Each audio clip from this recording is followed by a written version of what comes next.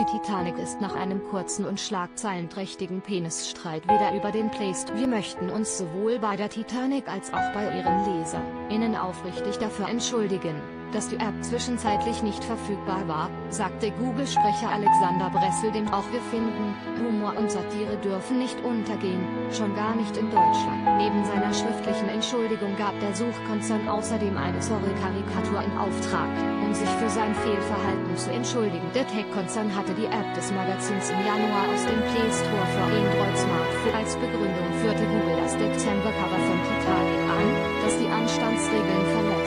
Das Titelbild der Ausgabe zeigt eine Zeichnung von Papst Franziskus mit einem Kruzifix im entblößten Hintern und Jesus mit freiliegendem Weg. Google habe sich an der Profanity in der sakralen Darstellung gestört, kommentierte die Titanic dazu auf die beanstandeten Motive sind wieder zu sehen nachdem die App zwischenzeitlich wieder mit entschärftem Cover freigeschaltet wurde, forderte Google die Löschung weiterer Titelmotive mit nackter Haut. Titanic-Chefredakteur Moritz Hürtgen drohte daraufhin Mitte Februar, die Plattform zu verlassen. Titanic wird sich nicht selbst zensieren, in dem verkniffenen Humor von Monopol-Wichsern in San Fernando Valley, eh, Silicon Valley. Sollte Google die Titanic-App nicht mitsamt aller Motive wieder freischalten, werde das Magazin den Store dauerhaft verlassen, auch wenn dies den Verlust digitaler Abonnements bedeutet. Nach dem Comeback der App werde man Googles Aktivitäten weiterhin genau und kritisch beobachten, sagt der Hürtgen jetzt. Alle Titelbilder und Inhalte werden wie von uns verlangt wieder unzensiert angezeigt.